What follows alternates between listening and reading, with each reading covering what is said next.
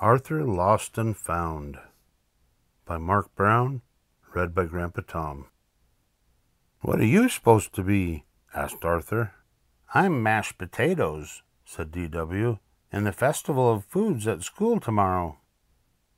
Gee, too bad I have my swimming lesson, said Arthur. You'll have to take the bus to your lesson, said Mom, and I'll pick you up. All by myself? asked Arthur. We've taken the bus before, said Mom. You know how. Maybe I'll ask Buster to come along, said Arthur. Good idea, said Mom. On the way to school, Arthur invited Buster. You mean the real bus? asked Buster.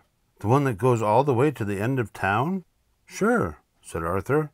We just pay our money and go. I don't know, said Buster. I heard about this guy who got on the bus and it just kept going and going and going. We can study for a science test and you can watch me swim, said Arthur. It'll be fun. After school, Arthur and Buster waited at the bus stop. Did you hear about the kid who didn't have enough money? asked Francine. The driver wouldn't let him off the bus. All of a sudden, Arthur didn't feel so well. Here comes the bus, said Francine. Good luck. Exact change only, growled the driver. The boys paid him and quickly took their seats. Want to study for the test? asked Arthur. Not really, said Buster. Arthur took out his science book. Chapter 6, read Arthur. Habits of the Clam. By the time the bus stopped at the pool, Arthur and Buster were sound asleep. Last stop, called the driver. Everyone out. Where are we? asked Arthur. Who knows? said Buster. I think we passed the pool. I've never seen this part of town before, said Buster. We're lost. Maybe we can find a police officer, said Arthur. Wait, said Arthur. There's a place with a phone. But the telephone had a sign on it.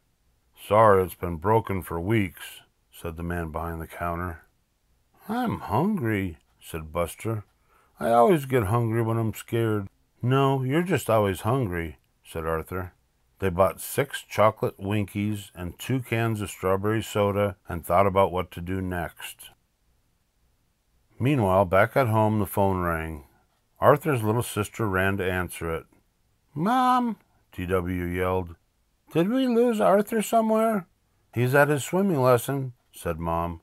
In fact, it's almost time to pick him up. Who is it? It's the man from the pool, said D.W. Arthur isn't there. Give me the phone, gasped Mom. What do you mean he's not there? If Arthur's lost, said D.W., can I have his room? Arthur and Buster finished their snacks. Then Arthur got an idea. Let's go back to the bus stop and try to get a bus home, said Arthur. Great idea, said Buster. Can you loan me some money for the bus? I spent all my money on Winkies. Sure, said Arthur. But when Arthur reached into his pocket, it was empty. Oh, no, said Arthur. I spent all my money on strawberry sodas. We're doomed, said Buster. Let's go to the bus stop anyway, said Arthur. Maybe we can talk to the bus driver. Arthur and Buster raced to the bus stop. The bus was just pulling away. Oh, no, said Arthur. Wait, wait, he called. The bus squealed to a stop. What do you kids want? asked the driver.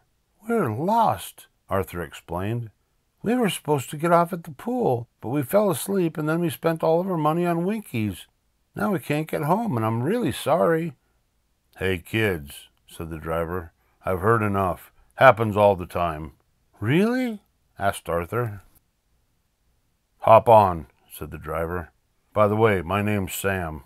I'm Arthur. He's Buster. Let's make a quick stop and give your folks a call, said Sam, just in case they're getting a little nervous. Great idea, said Arthur. Sam stopped the bus right in front of Arthur's house instead of at the corner. Thanks, Sam, said Arthur and Buster. See you around, said Sam. Everyone on the bus waved goodbye.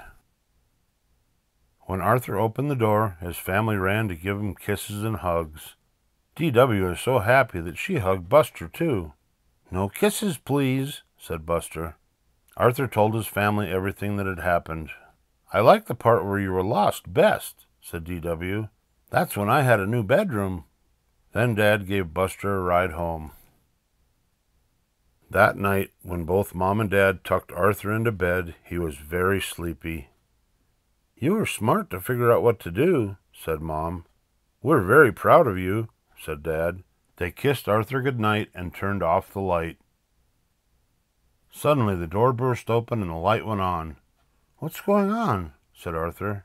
I'm making sure you're not lost again, said D.W. Good brothers are hard to find. Arthur yawned. So are good sisters. Good night, D.W. The end.